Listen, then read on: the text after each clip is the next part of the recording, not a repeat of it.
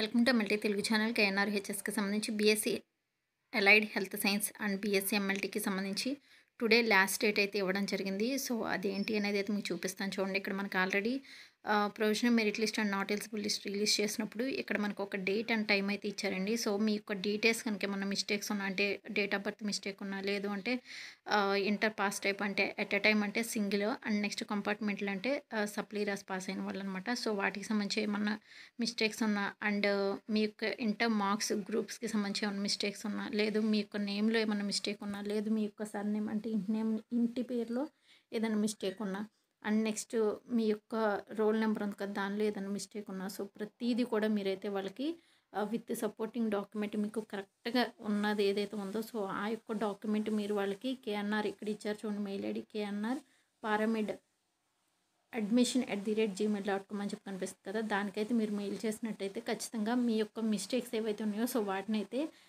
Change చేయడం జరుగుతుంది అనమాట సో మీకు కరెక్ట్ ఇన్ఫర్మేషన్ ఏదైతే ఉందో సో అది మాత్రం మీకు రావడం జరుగుతుంది అనమాట సో ఇదైతే ఖచ్చితంగా గుర్తుపెట్టుకోండి. ఇప్పుడు వచ్చిన మిస్టేక్స్ ఇవే కంటిన్యూ అయిపోతాయి ఫర్దర్గా. సో అలా కంటిన్యూ అవ్వకుండా ఉండాలనుకుంటే ఇప్పుడే మీరు ఈవినింగ్ ఫైవ్ పిఎం లోపు and eighteen one two thousand twenty three అంటే ఈ రోజు కాబట్టి ఈవినింగ్ ఫైవ్ పిఎం లోపు ప్రతి ఒక్కరు కూడా మీ యొక్క విత్ సపోర్టింగ్ డాక్యుమెంట్స్తో యూనివర్సిటీ వాళ్ళకైతే మెయిల్ చేయండి.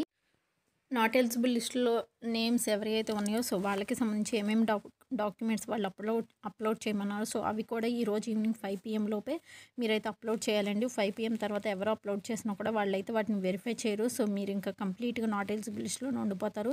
అండ్ ఈ యొక్క నేమ్స్కి సంబంధించి ఏమన్నా మిస్టేక్స్ ఉన్నా చేంజెస్ ఉన్నా కూడా వాళ్ళకైతే మీ యొక్క సపోర్టింగ్ డాక్యుమెంట్తో వాళ్ళకి మెయిల్ చేయండి. అండ్ క్లియర్గా ఇన్ఫర్మేషన్ చెప్పండి. ఇలా చేంజ్ చేయాలి మిస్టేక్ ఉంది అని చెప్పి. సో వాళ్ళు రెక్టిఫై చేయడం అయితే జరుగుతుంది.